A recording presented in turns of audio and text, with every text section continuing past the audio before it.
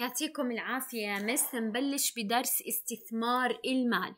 شو يعني أنا أستثمر المال؟ اللي هو أنتفع فيه بما يعود بالنفع والربح إلي عشان المال له أهمية في حياة الفرد وبتعامل الناس مع بعضهم في عمليات الشراء والبيع لازم إنه أنا أستثمره وأستخدمه بطريقة صحيحة.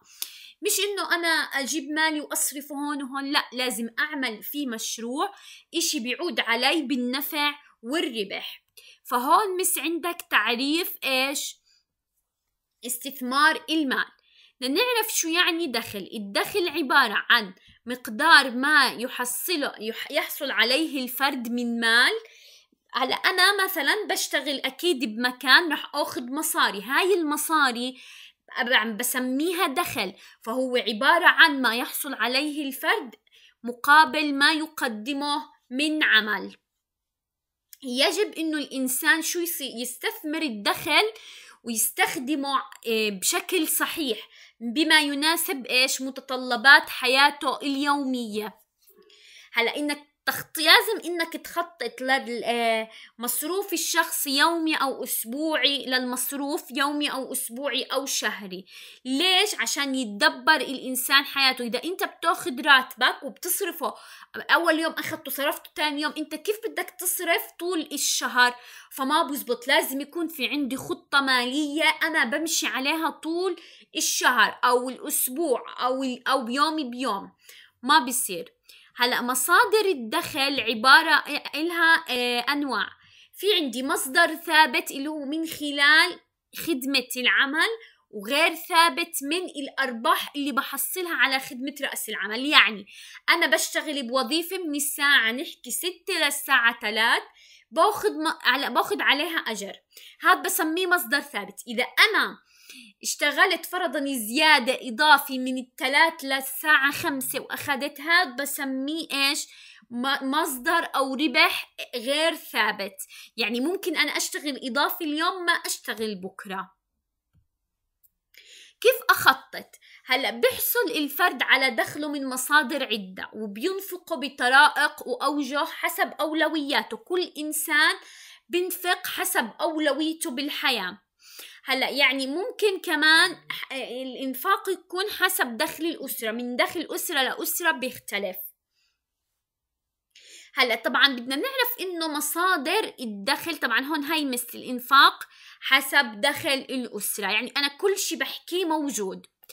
هلا بتتعدد مصادر الدخل وطرائق ادخار المال حسب كل واحد وكل إنسان دائما أي إنسان بالحياة بحاول إنه يحسن من شو؟ من معيشته ويوفر حياة كريمة إله ولأسرته. هلا ممكن الإنسان كمان إنه يحقق أهدافه ويحافظ على المال ويستثمره استثمار ناجح إنه يكون يقدر أهمية المال. في ناس ما بتقدر أهمية المال اللي بتصرفها على أشياء ما بتستفيد منها. هلا إذا أنا قدرت أهمية المال وأنفقته بشكل صحيح واستثمرته بطريقة مفيدة رح يحقق لي توازن بين ما بيجمعه وبين اللي بينفقه. هلأ شو الأهمية إني أخطط إنف... أعمل أهمية تخطيط للإنفاق؟ طبعا بحدد الإيرادات الشخصية وبيوزعها على وجوه الإنفاق. منها بأمن لي مرحلة الشيخوخة. يعني في ناس ما بيكونوا مشتركين بالضمان الاجتماعي أو بالتقاعد. فبصيبهم حالات عجز مبكر يعني بيصابوا بأمراض أو إعاقات أو إنه بطالة ما بيستطيعوا إنهم يشتغلوا. فلما أنا أكون يعني مخزن مبلغ من المال منيح هذا الإشي لما أنا ما مش مشترك بالضمان وعندي ما بشتغل وعندي عجز فهذا الإشي بيكون منيح إلي.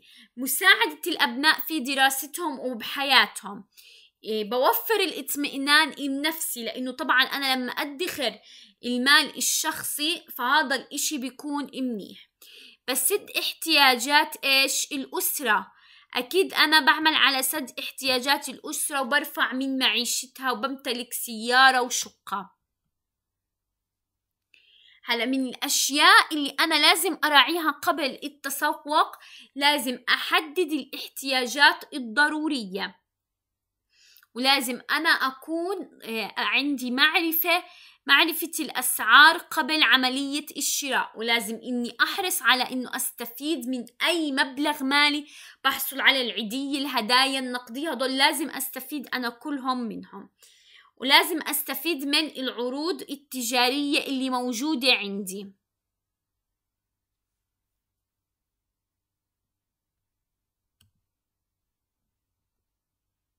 لهون يا مس بكون أنا خلصت الدرس يعطيكم ألف عافية يا رب. بتمنى إنكم تكونوا استفدتوا.